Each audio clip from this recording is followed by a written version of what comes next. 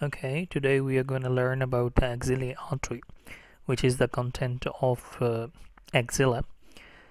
Axillary artery supplies the wall of axilla and related region and continues as a major blood supply to the more distal part of the upper limb.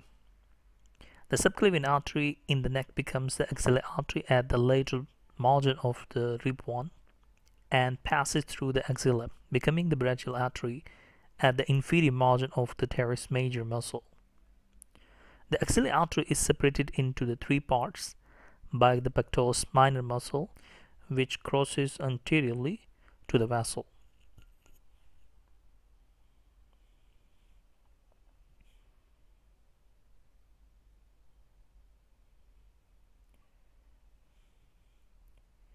So we can see here it is starting at the lateral margin of the or lateral border of the first rib and continuing downward to the lower border of the teres major muscle.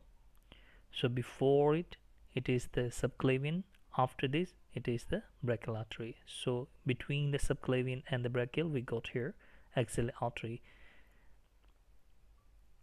It is closely related to the cords of the brachial plexus and their branches and it is also enclosed within the axillary sheath with the other structures in the axilla. It is crossed anteriorly by the pectoris minor muscle as we can see here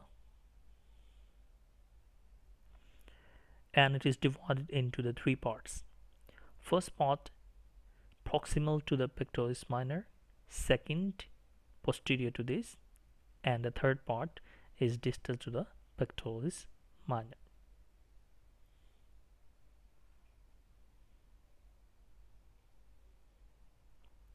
Let's talk about the first part of the axillary artery. First part is starting from the lateral border of the first rib to the upper border of pectoris minor.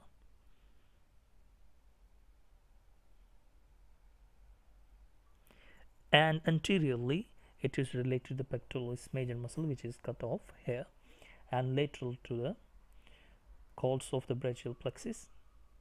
First part is having the one branch and this branch is named as superior thoracic artery.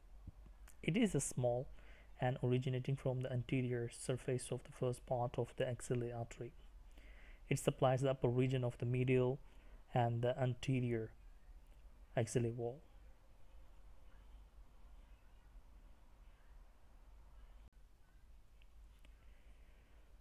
Let's talk about the second part of the axillary artery that is behind the pectoris minor muscle. It is related medially, laterally, and posterior to the corresponding cord of the brachial plexus. Second part is having the two branches, thoracoacromial artery and the lateral thoracic artery. So right at the medial border of the pectoris minor, under that we are having the branch coming out, that is the thoracoacromial artery. It is short and is curved around the superior margin we can also say the superior or the middle margin of the muscle and penetrating into the clavipectoral fascia. And after that it is dividing immediately dividing into the small four branches. These small branches named as pectoral deltoid clavicular and the acromial branches they are supplying the anterior wall of the axilla and related region. Additionally, the pectoral branch is also contributing to give the supply to the breast. From the inferior border, or you can say uh, the lower border, or lateral border of the pectoris minor muscle, right posterior to this is having the branch we call that lateral thoracic artery. So talking about the lateral thoracic artery, it supplies the medial and anterior wall of axilla. In women, branches emerge around the inferior margin of pectoris major muscle and contribute to the vascular supply of the breast too.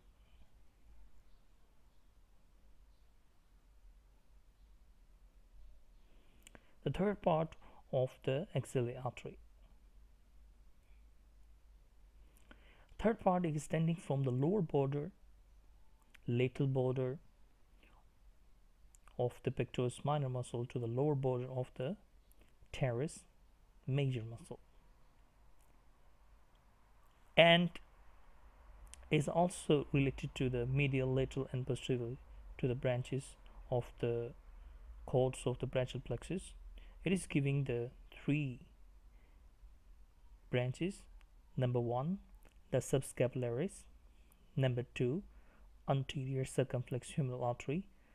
Number three the posterior circumflex humeral artery. So let's talk about the first branch from the third part of axillary artery that is a subscapular. Subscapular actually it is the largest branch of the axillary artery. And uh, it is a major blood supply which is supplying to the posterior wall of axilla. It also contributes to the blood supply to the posterior scapular region divided into two terminal branches. Those terminal branches are the circumflex scapular artery and thoracodorsal artery.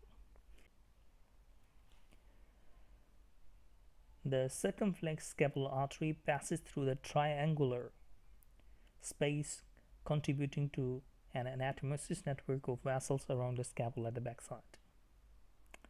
The second branch is the thoracodorsal artery of the subscapular that is following the lateral border of the scapula to the inferior angle and contribute to the vascular supply to the posterior and the middle wall of the axilla. Let's talk about the anterior circumflex humeral artery. Anterior circumflex humeral artery is originating from the lateral side of the axillary artery and it is a small as compared to the posterior circumflex humeral artery and uh, it passes anterior to the surgical neck of the humerus and anastomosis with the posterior circumflex humeral artery. The anterior circumflex humeral artery supplies to the surrounding tissue which include the glenohumeral joint and the head of the humerus. Let's talk about the posterior circumflex humeral artery. Posterior circumflex humeral artery originates from the lateral surface of the third part of the axillary artery immediately posterior to the origin of the anterior circumflex humeral artery. With the axillary nerve, it is leaving the axilla by passing through the quadrangular space. we have a complete lecture on the shoulder and we have explained about the quadrangular space and the content passing through that. The posterior circumflex humeral artery curve around the surgical neck of the humerus and supply the surrounding muscles and also the glenohumeral joint. It anastomosis with the anterior circumflex humeral artery and with branches from the profunda brachii, suprascapular and the thoracoacromial arteries. Here we go the summary of the axillary artery. It's starting and ending point and it's three parts and each part is having the branches. It is very interesting information. The first part is having the one branch second part is having the two branches third part is having the three branches. Here we go to one picture labeled already from the book representing the origin and the termination of this artery. Is three parts thank you very much